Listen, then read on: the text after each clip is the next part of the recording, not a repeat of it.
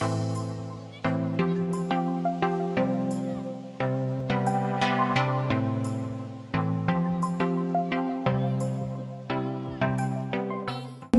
น่าโรเรนโซนานะคะ เป็น Vice President Personal Care ของประเทศ Unilever ประเทศฟิลิปปินส์บินมากับเราเลยเช้านี้นะคะ ขอเสียงปรบมือต้อนรับจีน่า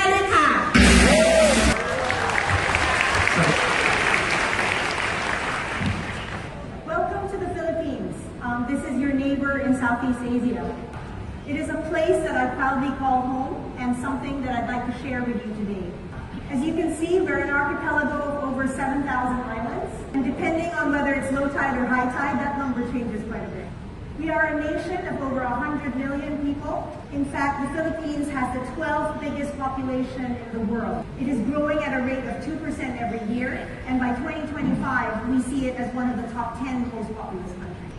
Now, of course, every Filipino would basically almost have a mobile phone, but more than that, they're actually highly connected on social media. In fact, the Philippines is known to be the social media capital of the world, and that's really because we have this ultimate urge to really be connected to our family and friends. We Filipinos have a very distinct set of values that are rooted in our rich and colorful history. We are already the second largest in GDP after Indonesia and Thailand. And our GDP growth last year was 6.8%, which is still seen to pursue and grow in the next coming years.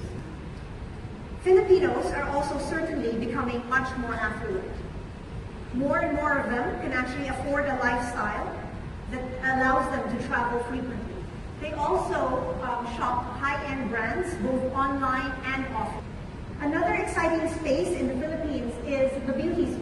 It's a 3 billion uh, US dollar business and growing 4% year on year. Color cosmetics is growing fastest, uh, and that is 20% of that whole segment. And Filipinos are very, very, um, uh, find it very good to try international brands, the latest of which are the Korean brands. They also have been trying these face masks, um, whether they be for whitening or anti-aging or pimple solution. Aside from this, the beauty supplements now account for 34% of the vitamins and dietary supplements category. Bulk of this is driven by whitening brands, which now start to advertise and use endorse. Also, apart from beauty, the health trends are exploding. Dietary supplements are on the rise, and it grew 10% last year. The fitness bug has also caught on, and all of these trends in the market, in premiumization, in health and beauty, actually show a lot of exciting opportunities in the Philippines.